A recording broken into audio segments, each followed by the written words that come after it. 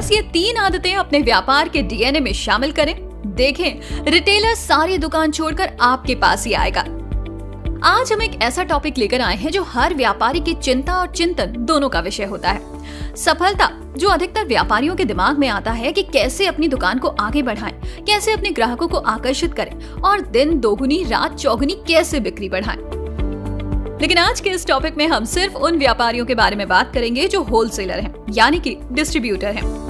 चलिए जानते हैं कि यदि आप एक होलसेलर व्यापारी हैं तो कैसे रिटेलर्स को आकर्षित करें? एक होलसेलर व्यापारी को अपने व्यापार की सफलता के लिए कौन सी तीन आदतें अपनानी चाहिए? हर सफल व्यापार की कोई ना कोई आइडेंटिटी होती है, जिसके आधार पर वो दूसरों से अलग होता है। साथ ही उस आइडेंटिटी के माध्यम से वो अपने कॉम्पिटिटर पर भारी पड़ता है। इसके लिए आप अपने व्यापार की कोई ना कोई आइडेंटिटी बनाएँ। आप दूसरों से क्यों बेहतर हैं आदि? रिसर्च करें कि मार्केट में क्या चल रहा है, किसकी डिमांड है और कितनी डिमांड है। उस डिमांड के अकॉर्डिंग समस्या और समाधान ढूंढें और अपने व्यापार के माध्यम से उसे पूरा करें। व्यापार कोई भी हो सकता है। स्टेप वन क्वालिटी पर फोकस करें।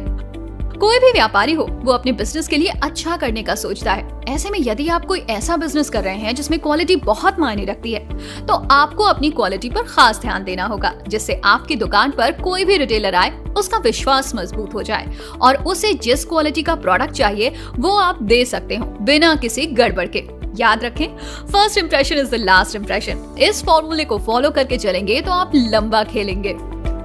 स्टेप टू ट्रेड डिमांड और प्राइस पर ध्यान दें। आपका बिज़नेस किसी भी चीज़ का हो, लेकिन वक्त के साथ साथ हर लाइन में कुछ न कुछ परिवर्तन आता रहता है। आपको इन्हीं परिवर्तन पर नज़र बनाए रखनी है। मार्केट में क्या नया ट्रेंड है, उस हिसाब से अपने स्टॉक को जमा करना है। किसकी कितनी डिमांड है, उस डिमांड को ध्यान में रखकर ही स्टॉक को जमा करें, जिससे नुकसान न हो। याद रखें रिटेलर कई जगह जाकर आपकी दुकान पर आया होगा। फिर उसे जब आप अपने प्रोडक्ट्स दिखाएँगे और साथ में उनके प्राइस बताएँगे तो रिटेलर दूसरी जगह से कंपेयर करेगा। जब उसे आपका सामान ठीक लगेगा, तभी वो आगे बात बढ़ाएगा। ऐसे में आपको इस चीज़ का लाभ उठाना है, अपने प्रोडक्ट की quality trending product demand product के आधार पर। अगर आपका प्रोडक्ट एकदम खरा है तो ही आपके द्वारा बताए गए प्राइस पर रिटेलर इंटरेस्ट लेगा, वरना वो कहीं और चला जाएगा। तो आपको अपना व्यापार क्वालिटी प्राइस और डिमांड पर ही बनाना है। स्टेप थ्री व्यवहार अच्छा बनाए। अधिकतर लोगों को देखा गया है कि जब कोई रिटेलर शॉप पर आता है तो दुकानदार इंटरेस्ट ही नहीं लेता। साथ ही जब रिटेलर किसी प्रोडक्ट के बारे में पूछता है तो दुकानदार उसे रूखे मुँह जवाब देता है। बस यहीं से रिटेलर उस दुकान से मुँह फेर लेता है, क्योंकि मार्केट में कंपटीशन बहुत भारी है। ऐसे में यदि आपका व्यवहार रूखा रहा तो आप अपने व्यापार के लिए नुकसान कर रहे हैं। तो सबसे पहले अपने व्यवहार में परिवर्तन लाएँ, याद रखें, सोच बदलनी है, नजारे अपने आप बदल जाएँगे। आज का जमाना है स्मार्ट तरीकों से भरोसे का व्यापार करना। इसलिए जब एक रिटेलर आपकी दुकान पर आए तो आप उससे खुलकर बात करें। चाय या पानी का ऑफ़र दें, उसे ठीक से बैठने के लिए जगह दें। फिर जाने कि वो किस तरह का बिज़नेस करता है। उसके व्यापार में आपका क्या योगदान हो सकता है?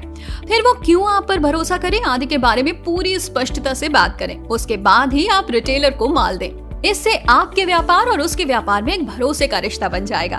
फिर रिटेलर आपको भविष्य में ऑर्डर देता रहेगा। तो दोस्तों, यदि आपने अपने व्यापार में इन तीन आदतों को फॉलो किया तो आपका बिज़नेस भारी भरकम मुनाफा बना सकता है और ये सफलता आगे भी बनी रहेगी।